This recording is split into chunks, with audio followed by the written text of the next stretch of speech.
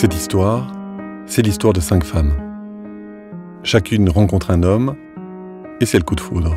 Il me disait que c'est un coup de foudre le premier jour qu'il m'a vu que c'est la personne pour laquelle j'étais la plus jolie au monde. Je disais que voilà, c'est l'homme de mes rêves. Quand on devait se quitter, on avait du mal. On s'envoyait tout le temps des messages et tout.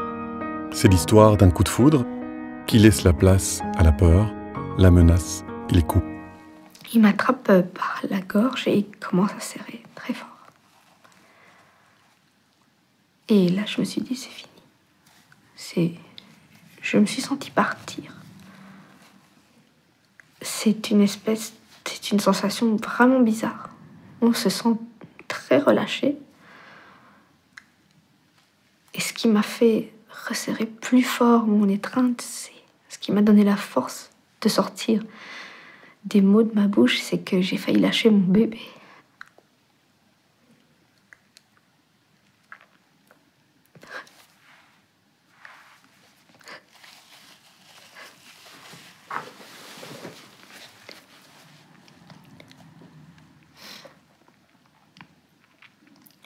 J'ai juste eu assez de force pour dire le bébé. J'ai eu tout juste le temps de la serrer très fort pour pas qu'elle tombe. Et à ce moment-là, il a lâché prise.